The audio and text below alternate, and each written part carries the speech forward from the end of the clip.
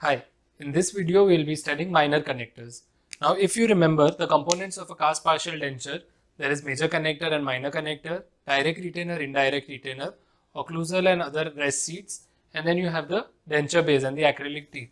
So the function of a minor connector is to connect all these exclusive small small components to the major connector. So a minor connector will connect the direct retainer, the occlusal rest, the indirect retainer, everything to the major connector. By definition, it is the connecting link between the major connector or the base of, of a removable partial denture and the other units of the prosthesis such as clasp, indirect retainer and occlusal rest. So let's have a look at the functions of minor connector. A minor connector like the definition says is going to join, connect the units of the prosthesis to the major connector. So what are these units? You have the clasp, rest and the retainers. The second is functional stresses. So it is going to transfer the functional stresses from the prosthesis to the abutment and the abutment to the prosthesis. So it is a two-way thing. It is going to dissipate the forces. It is not going to concentrate any specific force to any specific tooth. It is going to just nullify the effect of forces by distributing it over the abutments, on the teeth, on the mucosa, on the tissues, on the arch. So that is the function of a minor connector. Now one thing again very important is that it is rigid you cannot have a flexible minor connector. If it is not rigid, it will not be able to dissipate these forces. A minor connector is the only part of the RPD that contacts the guide plane of the abutment. This is important for the exam. Which part of the cast partial denture is going to connect the guide plane of the abutment. So only a minor connector is going to uh, connect that. A minor connector arises at 90 degrees or right angle from the major connector. That means if you see this image, this angle has to be 90 degree. This is 90 degree. This is 90 degree. So a minor connector is going to be at an, at an angle of 90 degree to the major connector so that the gingival crossing is abrupt and covers little tissue so that there is no ill effect of this connection to the gingiva. So what are the types of minor connectors? Now basically there are four types of minor connectors. The first is minor connector that joins the clasp assembly to the major connector. So this is for the direct retainer. So if you have a clasp, then one joining it to the major connector. So this is the minor connector here, which is joining the clasp assembly to the major connector. Second is joining the indirect retainer or auxiliary rest to the major connector. So here if you see, this is the indirect retainer and it is going to connect that to the major connector. Then minor connector that joins the denture base with the major connector. Here you will have your artificial teeth and the acrylic resin. So this is connecting to the major connector here. So that is your minor connector that joins the denture base with the major connector. And lastly, minor connector that serves as an approach arm for bar clasp. So in gingivally approaching clasps, this is the minor connector which is going to come from underneath the gingiva and take support from the tooth. So in direct retainers, you can have from the clasp assembly or from the bar clasp. So these are the different types of minor connectors. So let's have a look at the different minor connectors which are included in the distal extension cast partial denture base. For a maxilla uh, cast, maxillary cast partial denture, you will choose a ladder or a loop type of design where you have this kind of struts. And in maxillary arch, the minor connector should extend to the entire edentulous ridge up to the maxillary tuberosity. So you are going to cover the maxillary cast partial denture framework up to the maxillary tuberosity, not on the tuberosity. In mandible, again, you will use op open lattice or a ladder type of a minor connector. This is basically the minor connector on which the acrylic is going to come, on which the artificial teeth is going are going to come. So in mandibular arch, minor connector should cover or extend to the two-third length of the edentulous ridge. Okay. In maxillary, it should extend up to the maxillary tuberosity. In mandible, two-third of the edentulous ridge. Now, what are tissue stops? Tissue stops as the name suggests, is going to stop on the tissues. You want the cast partial denture to not swing here and there. It has to be oriented to the same part of the denture base.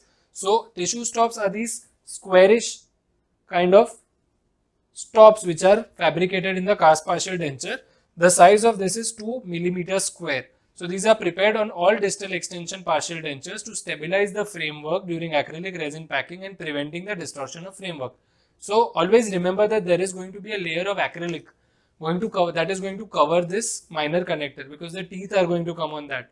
So the teeth and acrylic and the metal they are all going to be one unit in this area.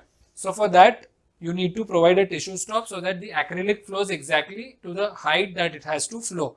So these tissue stops are very important and they are 2 millimeters square.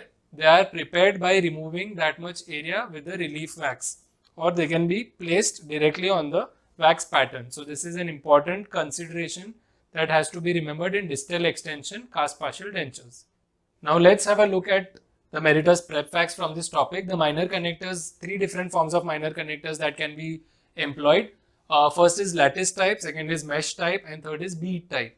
So the lattice type is actually the one which has struts. So you have your distal extension base and then you have the struts or bars that are going to come along the ridge.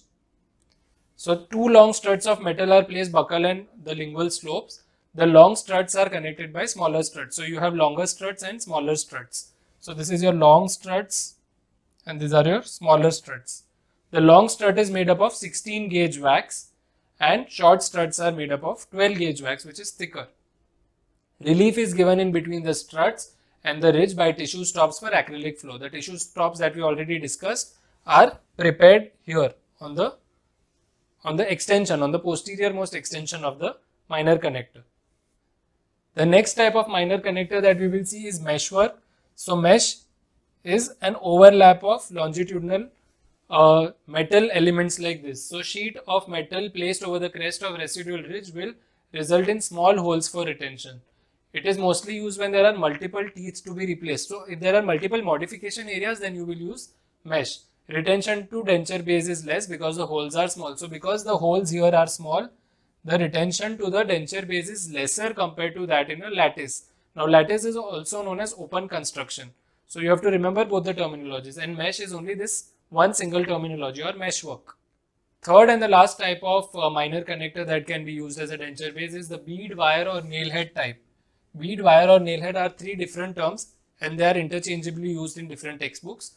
So a bead major connector is like a bead or a nail bed or a nail head on a metal component. So there is this metal plate on which there are struts coming out of the metal plate. So lines the edentulous ridge directly without any relief. It sits directly on the edentulous ridge without any relief.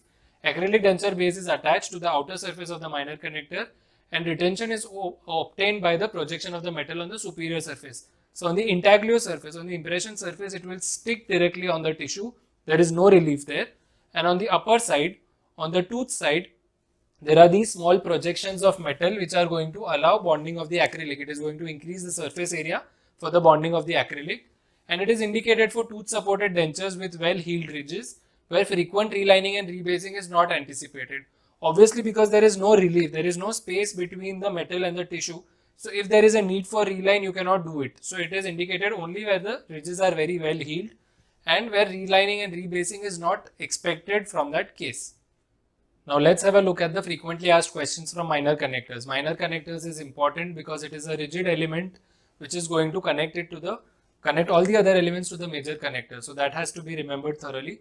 And the angle formed between the minor connector and the major connector to which it joins has to be 90 degrees.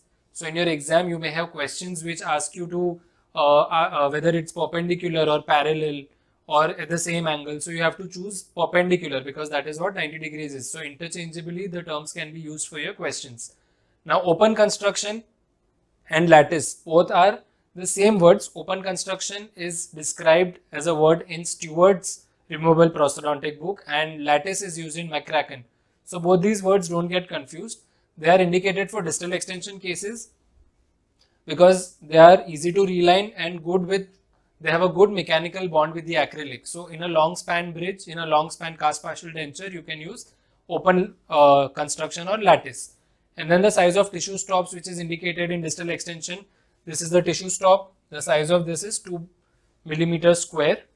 And open construction, the long struts are made, made up of 16 gauge. This is a long strut, which is going to border the uh, the minor connector and the short struts are in between them. So they are going to be 12 gauge. Then the disadvantage of mesh minor connector, mesh are smaller holes here. So it is difficult for acrylic to bond directly to that. So it is indicated for smaller edentulous areas. Bead or nail head, that kind of a construction should be limited to well-healed ridges and where uh, you are not anticipating relining because there is no relief provided in this kind of a minor connector. So these are the kind of questions that can come from a minor connector topic. I hope this video was useful to you. Thank you for watching.